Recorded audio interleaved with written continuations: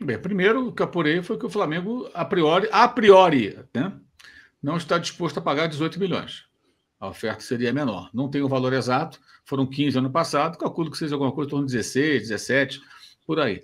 Isso não significa que não vai pagar, dependendo do, do prazo de pagamento, é, talvez com bônus, possa chegar a esse valor. Né? Tudo depende de como vai pagar. Né? Se você conseguir parcelar e esticar mais o prazo, você vai aumentar um pouquinho mais o valor. Mas, a priori, o Flamengo não quer chegar a tanto. É... Então, espera que eles reduzam a pedida. Está no impasse. Está nisso. Não tem, não tem muito o que falar sobre isso. Essas coisas se arrastam. Agora, a pessoa fica dizendo que está certo, está certo, porque isso dá audiência, né, gente? Que eu falei há pouco. O cara pega lá e coloca. Está encaminhado, está quase fechado, fechou. Aí não é bem isso. Mas aí já deu o clique, já deu audiência. O que acontece? A pessoa que dá audiência, ela não anota o nome daquele canal, daquele site, daquele repórter, daquele jornalista, daquele YouTube, daquele sei lá o quê, e fala, nunca mais volto aqui que esse cara aqui ele mentiu para mim. Não, ele volta lá e dá audiência de novo. Então o cara faz outra vez, e outra vez, e outra vez. Entendeu? É isso que acontece. É isso que acontece. Mas tá, isso vai se arrastar, essas coisas são demoradas. E não tem como também chegar e assim, toda hora comprar jogador pagando o que o, o, o, outro clube pede. Tem que, tem que haver uma negociação, tem que haver um, um, um, um ponto em comum. Se os caras pedem 18, você já chega com 18, você oferece menos, chega ali, puxa daqui, dali. De repente, ó, eu chego em 18, mas você vai me parcelar em quantos anos? Ah, eu consigo parcelar em mais tempo. Aí você fala, tá bom, beleza, eu consigo pagar um pouco mais. Ou tá bom, pago 16 e 2 em bônus se ele for campeão e tal. Se ele for campeão, ele está ajudando o clube a faturar, fica mais fácil você aumentar. O próprio Flamengo vende jogadores também com essa condição, né?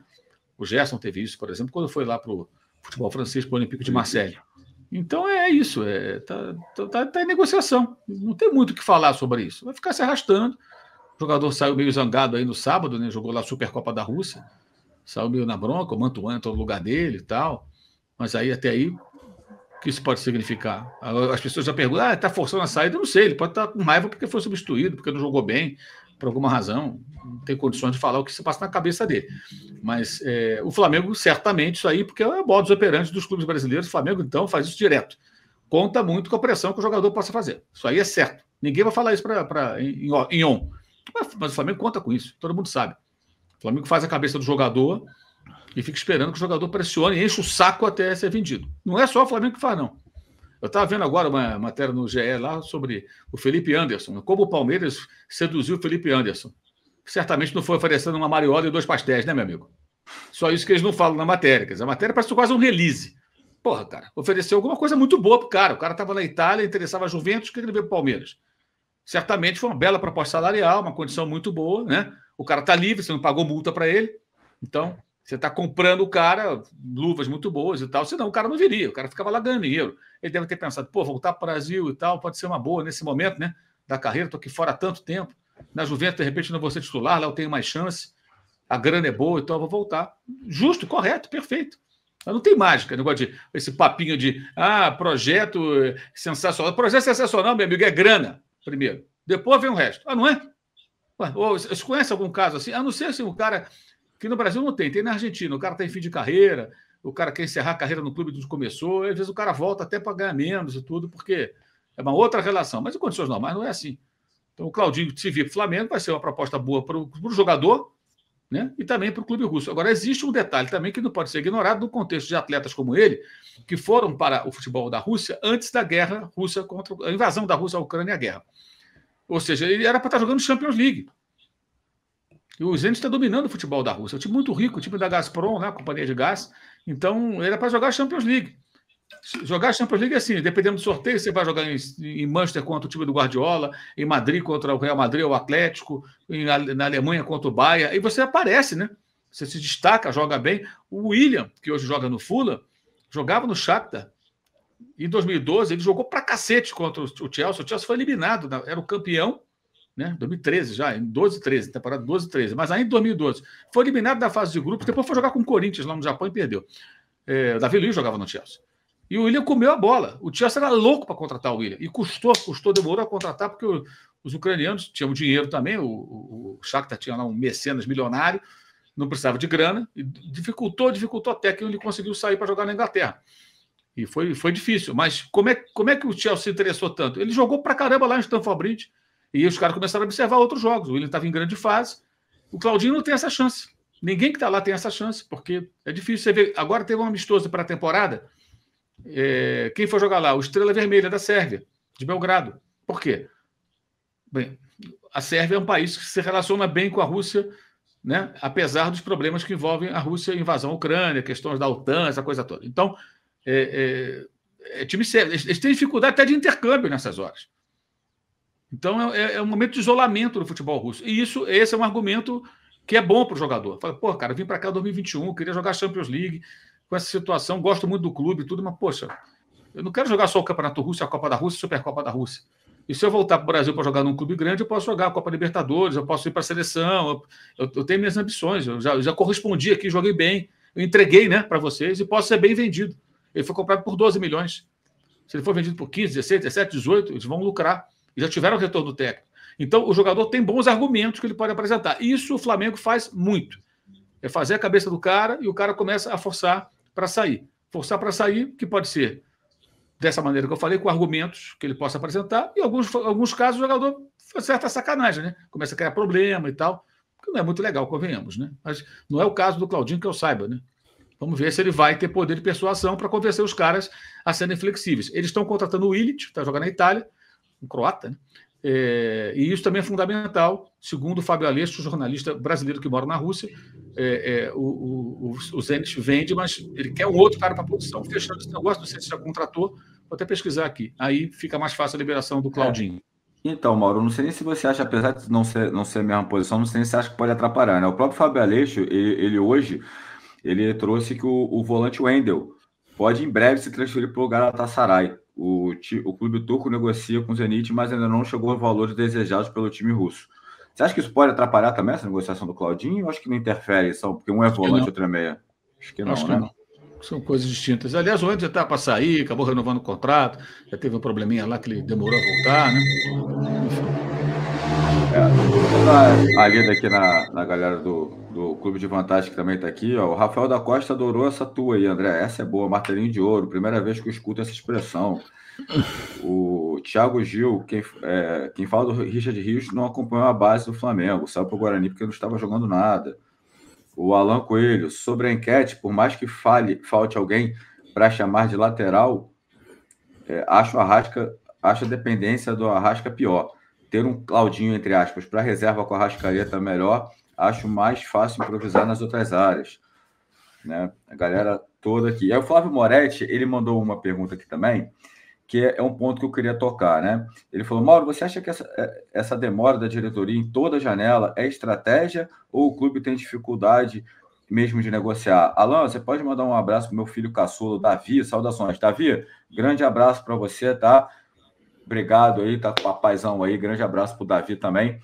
Mauro, eu, eu não sei nem se você. Eu acho até que a gente pode ter. ser um pouco divergente nisso.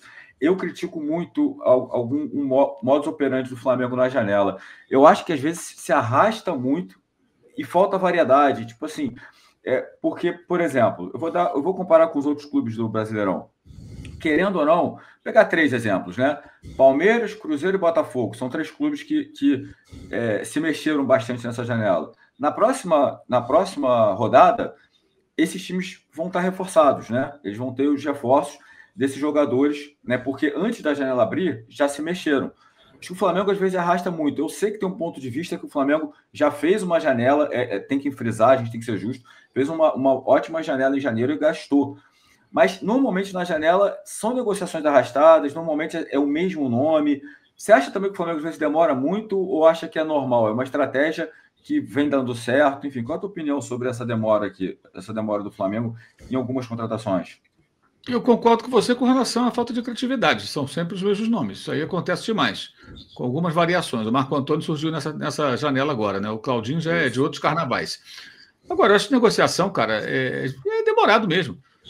Assim, eu sempre critiquei clubes que gastam de forma irresponsável. Eu não posso defender que clube nenhum chegue lá e faça: quanto você quer? Toma, eu pago. Não dá para ser assim, sabe? Quem pede 18 quer, quer 16, 17. Né? O cara quer vender teu carro, quer vender um carro para você. O cara pediu 50 pau, ele quer 40, 45, 45, por aí. Ele não quer 50, ele quer 45, 46, 47, vai ver onde que chega. É assim que funciona. Né? É a mesma coisa jogador de futebol. Aliás, o Illich é sérvio, tá? tem 23 anos, é do Torino. quer dizer, só joga também Copa Itália e, e Campeonato Italiano, está acostumado a jogar só competição doméstica, porque o Torino não vai a competições europeias normalmente. É, não é croata, é sérvio. E segundo eu vi aqui alguns sites aqui italianos agora, é, parece que está bem encaminhado por 25 milhões de euros.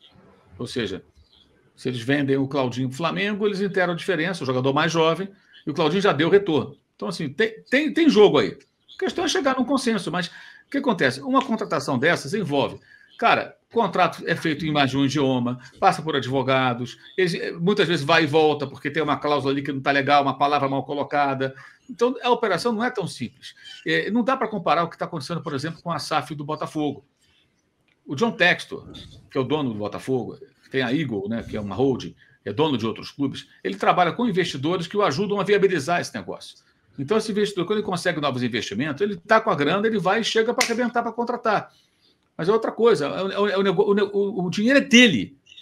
O dinheiro não é do Marcos Braz, entendeu? Não é do Landim, dinheiro é do Flamengo. Eles têm que ter responsabilidade na gestão e na utilização do dinheiro. Não podem sair pagando. É o que eu penso, tá? É o que eu penso. Tem que fazer o melhor negócio possível para o Flamengo. Não é para ser profissional? Um bom profissional faz bom negócio. Então não dá para chegar pagando o que querem. Tem que... Até porque todo mundo sabe que no Brasil o Flamengo é o clube mais bem, bem resolvido financeiramente. Então, obviamente, para o Flamengo os preços ficam mais caros. Isso tem que ser considerado. Então não é tão simples assim. Sabe, vai chegar chegando. E o Flamengo fez um investimento forte em três jogadores na janela do começo do ano, que não costuma ser tão viável, porque na Europa, agora, a janela forte é agora. E ela está só no começo. Você não sabe quem vai sair, o que, que vai acontecer, se vai chegar proposta para valer, se voltarão em cima do Wesley, se voltarão em cima do, do Fabrício Bruno. Se o, se o West Ham quer um zagueiro, de repente não encontrar um outro, pode ser que volte e fala, Fabrício, vamos conversar. O que, que falta você aceitar? Ah, se me pagasse um pouco mais aqui, eu aceito. De repente leva o cara. Você não sabe o que vai acontecer. Tem muitas semanas ainda para essa coisa se desenrolar. Eu só não, não acho que, que dê para ser como muito torcedor falar, vai lá e paga. Isso é o que faziam antes. Eu quero Wagner Love. Chegava no CSKA, pegaram o Wagner Love. Conseguiu pagar? Não conseguia pagar. Ah, mas agora tem dinheiro. Cara, se você fizer negociações só dessa maneira, é, é, realmente, é, daqui a pouquinho o Flamengo não vai conseguir pagar. Porque não dá para ser assim. O caso do Marco Antônio com a Lazio, a mesma coisa. O jogador está sendo emprestado pela Lazio. A Lazio está endurecendo o jogo. Tem que esticar a corda até conseguir o melhor negócio possível. Se isso vai demorar mais um pouco, paciência. É, é como eu vejo. Porque é muito fácil você chegar lá e falar assim: ah, quanto é? Eu compro, eu pago. Não tem aquele cartão Platinum que se o cara chega no lugar, vai passando e vai contratando jogador. Não funciona assim. Não é time da Arábia Saudita, bolha Saudita, com aquele dinheiro lá todo que os caras têm. É diferente. E a relação da SAF é outra relação.